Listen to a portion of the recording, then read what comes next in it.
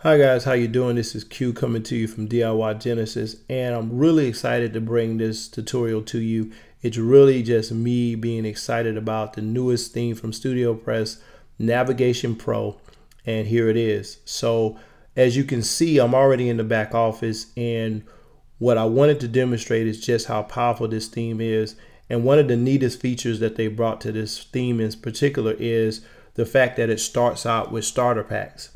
And these starter packs can take your website in any direction that you want it, especially if you kind of know what direction you want your website to go in. You're looking to go uh, travel right, uh, uh, travel route, the cuisine route, fitness route, or law, or something of that nature, or something that's going to get you kind of in a ballpark of where you want your site build to go. So I'm really into fitness. So I'm going to go ahead and then do that starter pack install for fitness. And as you can tell, it's going to do that recommended plugins, installing and activating all the plugins for the starter pack. And once that's done, it'll check it off. And then the demo content will be installed. And then it says it's all done. And now we can go and view our home page. So let's let's do that. I'm going to open that up in another tab and we'll view the home page. And there we go.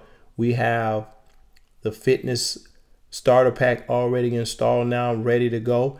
And so if we were building out a fitness site, we'd be well on our way to being done and we can tweak and modify and customize. And I'll be bringing more tutorials on the Navigation Pro as well.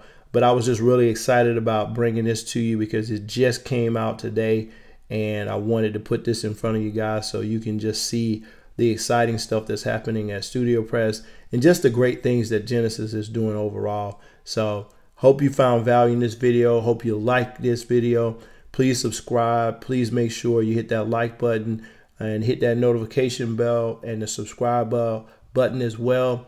And um, please comment and let me know if you guys want to see additional videos, additional content, things that maybe I'm not covering at this point, but I'm looking forward to bringing you more great content.